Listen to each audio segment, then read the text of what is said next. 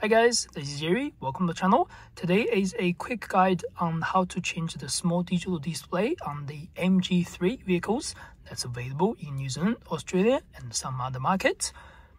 If you don't know me, I do all the tutorial videos for the MG vehicles. You can check all the information on my channel, including all the MG3 purchase guide, everything.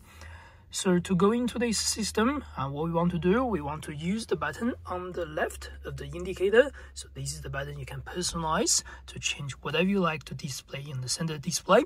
So simple, just tap the button. You can go through different selections. These selections will show you different sort of information.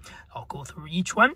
So the first one is your odometer. This is the total uh, kilometers the vehicle has traveled over the since the vehicle has been built basically another touch we are going to the A trip. That means based on the calculation, A trip has traveled 372 kilometers. If you do want to reset, you can do long press and hold. That means you can reset this A trip. For example, push and hold. The A trip is now reset to zero. Then you can also single click again to go to B trip. Again, you can calculate your trip and all that things based on this information another button. This allows you to check your fuel tank.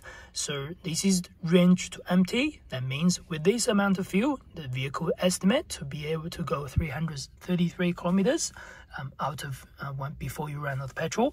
But this is just indication. This will fluctuate based on how you drive all the things.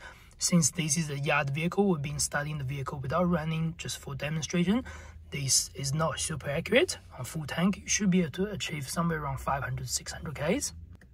Next, single touch again. This is your on-time consumption or fuel uh, sort of rating.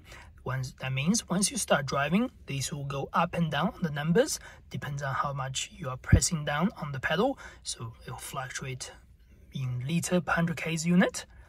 Next, we have the average fuel consumption, which show the average sun over here. Uh, again, this vehicle has not been driving on the road. It's been just yard start everything, so fuel consumption is quite high. Once you start driving, this will fluctuate again. And next, we have the average speed. This is average speed is based on how the vehicle has been traveled over the, again, last A trip. If you do want to reset, you can reset the A trip. They will show no, no data. But once you start driving, this will show the average uh, speed, depends on your um, vehicle driving speed.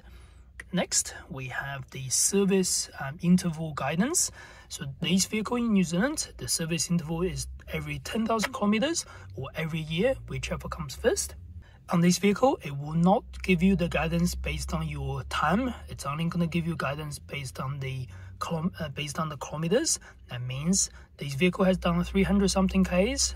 In another 9,650 k, you will need a service. And when the service is due or overdue, it will give you an indication over here whenever you start the vehicle. And if you do want to reset, again, long push and hold allow you to reset the service reminder on this vehicle.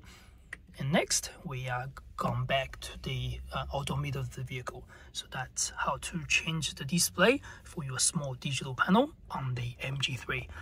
I hope you enjoyed the video. Please subscribe and like if you found this video helpful. Thank you very much. See you in the next video.